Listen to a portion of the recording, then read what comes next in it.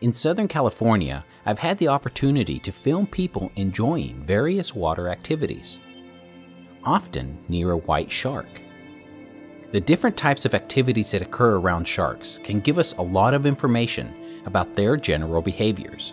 Recently, I filmed a spear fisherman bringing in a nice catch.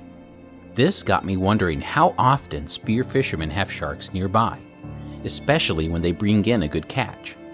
These two fishermen had not one, but two sharks just 50 yards away. I usually see sharks near humans, but not in a way that looks like they have an interest in us at all. There is one water activity I haven't observed often, especially near sharks people in kayaks. So this month I focused on that, specifically kayak fishermen. I was curious to see if white sharks could be nearby. Here are some results of just one day of searching. These kayak fishermen were about one half mile offshore. I was not expecting to see this scene. In fact, I shot all of this with my backup drone that I use for scouting purposes. But as I approached the area, it was immediately apparent a great white shark had taken interest. But why? What I observed for the next 40 minutes is some of the most interesting footage I've captured in a while. For reference, the yellow kayak seen here is 12 feet long, and as you observe the shark, take note of just how apprehensive the shark appears about getting close. The answer to why this shark seems so interested can be seen in this frame. Do you see it? This fisherman is towing his latest catch. It's likely a live halibut.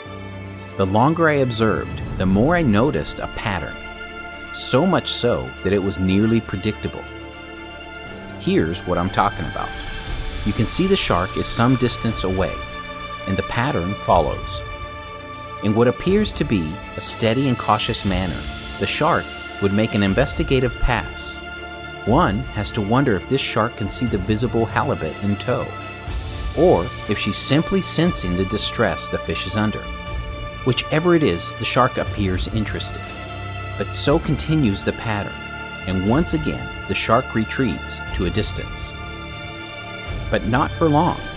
Once again, it turns back and inches its way closer to do it all over again. As an observer, I don't have the ability to communicate to the kayakers. The careful approach is evident, but also visible is the fact that the shark has gotten the courage to get closer than ever. But is this a dangerous situation? The thought crossed my mind, of course. At this moment, I'm flying safely at a distance away from the kayaker but not close enough that he can hear the drone over the ambient wind, water, and waves. Based on my experience, the sound of the drone is unbelievably drowned out by the ocean in most of these cases. Situational awareness also dictates that I can't get too low as two kayakers are near each other and I risk the chance of striking one. That's the last thing I want. So I remain at a distance for the time being. You can clearly see the halibut in tow here. That's the attraction. That's how these creatures are wired. But it is observable that the shark is now making shorter intervals between approaching and retreating. Once again, it's visibly cautious. This shark likely senses a fish in distress. It's only following its instincts. But suddenly, the shark loses interest and focuses on something else.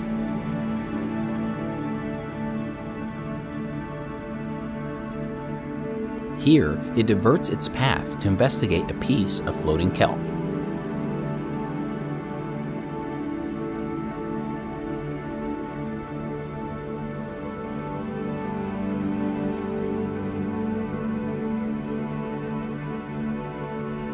And just as suddenly as it focused on it, it loses interest.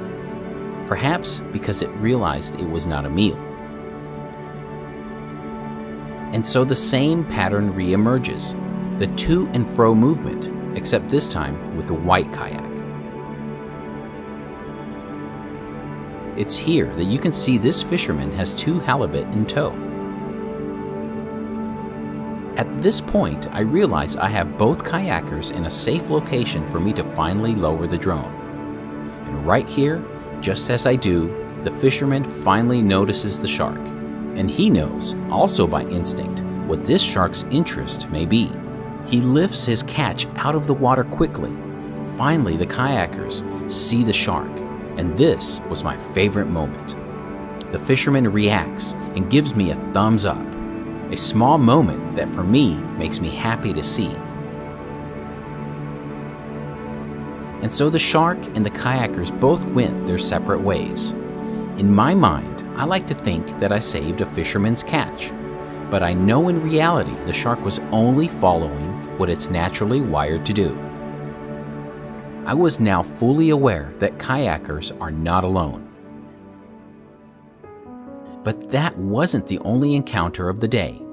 Just a short time later, in a different location, I filmed this encounter.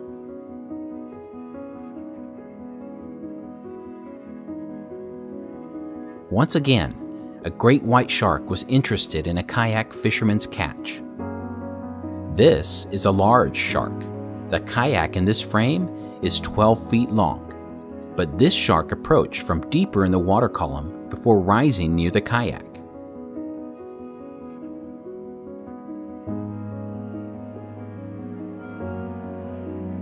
A completely different approach from the previous encounter. Right here, you get a glimpse of the girth of this shark in comparison to the kayak. The fisherman appears to be pointing at the shark. This was later confirmed as the fisherman informed a state park's official. The shark did not stay in the immediate vicinity, but based on my previous encounter, I knew there was a chance it may return. And here, you can see it indeed makes a turn back. However, it never approached any closer to the kayaker a stark contrast to the previous encounter I filmed. The second encounter occurred just 120 yards from the shore and near kelp beds. It involved a larger shark and was in a much more shallow environment. Regardless of the reasons, one thing became vividly clear to me. Great white sharks do exhibit visible curiosity to kayak fishermen, especially if they have fish in tow. It's yet another example of how we can learn by simply observing these creatures. There is always potential for a shark to make contact, yes, especially a shark that is prone to excitement over a distressed fish nearby. But the takeaway from these observations can help us not only avoid contact with a shark, but also to plan ahead to minimize that contact. If you enjoy this content, please like and subscribe. I've also included some links to organizations that are actively involved in protecting our oceans. Please pay them a visit.